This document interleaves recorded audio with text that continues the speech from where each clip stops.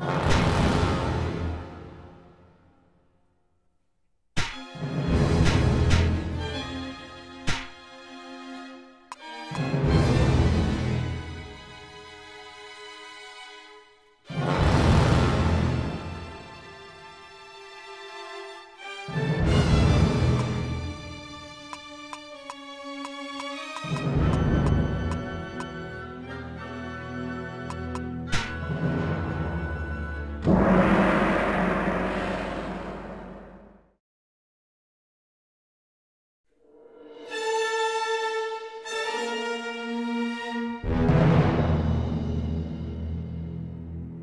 反董卓联盟之势，董卓逃往了长安。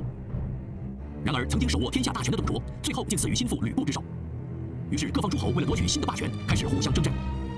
在中原，被逐出首都的吕布偷袭曹操，趁机占领了兖州。在江东，孙策向袁术借兵，正式建立自己的基业。